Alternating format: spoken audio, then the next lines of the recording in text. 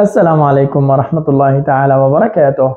أهلا وسهلا بكم مشاهدينا الكرام في هذا الفيديو والذي نشرح فيه أحكام الميم الساكنة ضمن الآيات من سورة الأنفال من الآية الواحدة والأربعون حتى الآية الرابعة والأربعون. فابقوا معنا.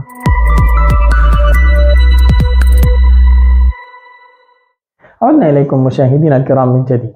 قبل أن نشرع في أحكام الميم الساكنة نقرأ الآيات ونأخذ المفهوم العام بشكل عام. واعلموا أنما غنمتم من شيء فأن لله خمسه وللرسول ولذي القربى واليتامى والمساكين وابن السبيل إن كنتم آمنتم بالله وما أنزلنا على عبدنا يوم الفرقان يوم التقى الجمعان والله على كل شيء قدير. لاحظ هنا بدأت الآيات. اعلموا أنما غنمتم. الغنيمة التي تأتي في المعركة أي بعد المعركة لاحظ هنا أخذتم من الكفار قهرا. الفيء الذي يؤخذ بدون قتال لكن هنا نتكلم عن الغنيمة. وبالتالي إنما غنمتم من شيء أي شيء أخذناه سواء شيء حلال أشياء أخذناها من السبايا أخذناها من الأموال.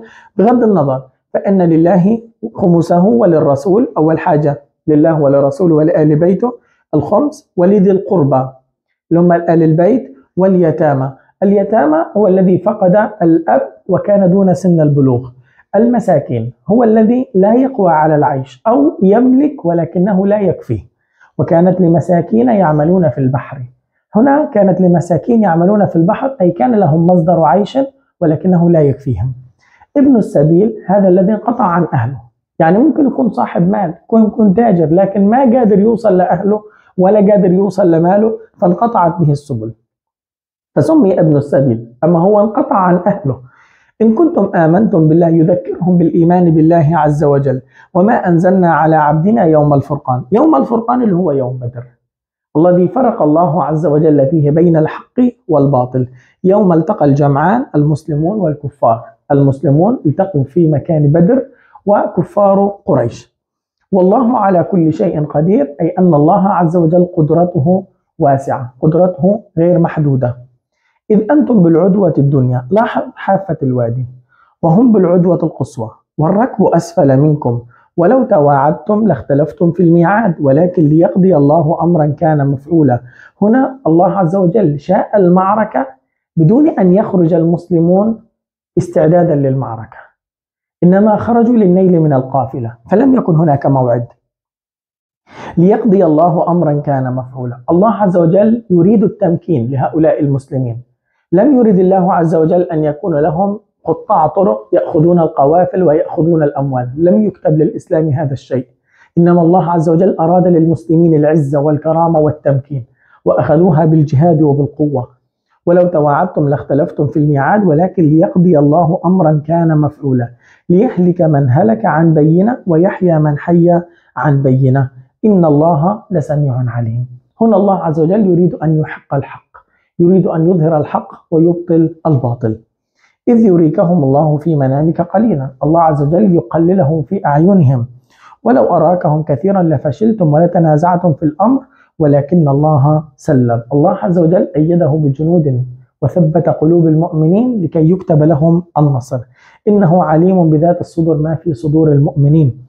وإذ يريكهم إذ التقيتم في أعينكم قليلا ويقللكم في أعينهم ليقضي الله أمرا كان مفعولا. وإلى الله ترجع الأمور. نشرع الآن في أحكام الميم الساكنة. لاحظ هنا. الميم الساكنة ثلاثة أحكام. هي الإخفاء الشفوي والإدغام الشفوي والإظهار الشفوي. كيف بدنا نفهم أحكام الميم الساكنة؟ الآن أنا بأنظر للكلمات. وين أنا بأجد ميم ساكنة؟ سواء في وسط الكلمة أو في نهاية الكلمة. بدي أقول هذه الميم الساكنة. إيش الحرف اللي أجى وراها؟ هل هذا الحرف اللي أجى وراها هو حرف الباء؟ فبسميه إخفاء شفوي. هل هذا الحرف اللي أجى ورا الميم الساكنة؟ أجى وراها كمان ميم بسميه إدغام شفوي. هل هذا الحرف اللي أجى وراها يعني غير حرف الباء والميم بسميه إظهار شفوي؟ واضح؟ إذا أحكام الميم الساكنة. إنه أنا بدور وين في ميم؟ بدي أجي أعمل الحرف اللي وراها تحت الفحص. إذا حرف ميم بسميه إدغام شفوي. إذا حرف غير حروف الميم حرف الباء مثلا بسميه إخفاء شفوي. إذا حرف غير حرف الباء وغير حرف الميم بقول عنه إيش؟ مثلا هيو ميم وراه حرف الخاء بقول عنه إظهار شفوي. نبدأ مع الإخفاء الشفوي. هو النطق بالميم ساكنة مع انفراج قليل بين الشفتين مع الغنة إذا جاء بعدها حرف الباء. من الأمثلة عليه قوله تعالى ومن يعتصم بالله يعتصم يعتصم بالله. يعني في انفراج بسيط. نسميه هنا إخفاء شفوي. يعتصم يعتصم بالله. الباء نطقت فيها لكن هنا الإخفاء وين أجى الميم يعتصم يعتصم بالله. وما هم هم هم بمؤمنين. ولستم ولستم بآخذيه.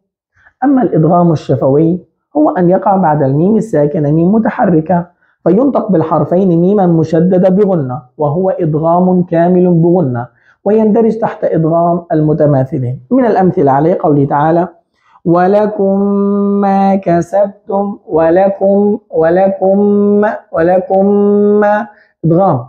لاحظ هنا إدغام في غنة عند مقدار حركتين. فينطق ميما مشددة بغنة لهم وهنا نقول لكم ما كس لكم ما لكم لاحظ في هنا إيش؟ غنة لازم تطلع فبقول ولكم ما ولكم ما كسبتم ألم نخلقكم من ماء مهين؟ هنا في أكثر من حكم لاحظ الميم وراه حرف النون بنسميه إظهار شفوي. لكن الشاهد هنا إحنا بدنا إياه إدغام شفوي. الميم الساكنة وراها ميم فبنقول عنه إدغام شفوي. والله من ورائهم محيط. ورائهم محيط. لاحظ؟ الميم المشددة أطعمهم أطعمهم من جوع وآمنهم آمنهم من خوف. إيش اللي صار عندي؟ صار عندي إنه أنا عندي ميم ساكنة وجاء ورا حرف الميم. سميتها إدغام شفوي. هنا أجت ميم ساكنة في نهاية الكلمة لكن اجى وراها حرف الباء. سميته إخفاء شفوي. أما الإظهار الشفوي هو النطق بالميم الساكنة مظهرة. يعني لا في إدغام ولا في إخفاء. كما هي من غير إخفاء ولا إدغام. إذا وقع بعدها جميع الحروف ما عدا الباء والميم. ومن الأمثلة عليه هم يوقنون هم يوقنون هم يوقنون. كنتم خير كنتم خير. ربهم أعلم بهم ربهم أعلم بهم. طب ليش هنا يا أستاذ ما فيش إخفاء شفوي؟ هي جميم يا أستاذ وراها باء لا هنا الميم يا أستاذ عليها ضمة؟ إحنا بندور على إيش؟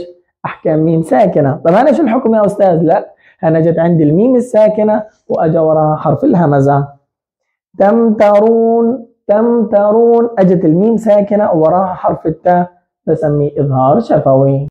ننتقل إلى أتعلم. سميت أحكام الميم الساكنة بالشفوية لأن الشفتين هما مخرج الميم الساكنة. لاحظوا من تخرج الميم؟ إم إم إم. تخرج من الشفتين. فسميت أحكام الميم الساكنة بالشفوية.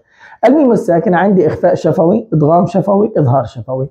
الإخفاء الشفوي إذا جاء بعدها حرف الباء. إذا بيجي ورا حرف الباء وهم بالآخرة وهم وهم بالآخرة. أما إذا أجى بعدها حرف الميم نسميه إدغام شفوي. لهم مغفرة لهم لهم لاحظ ميم مدغمة شد عليها إيش؟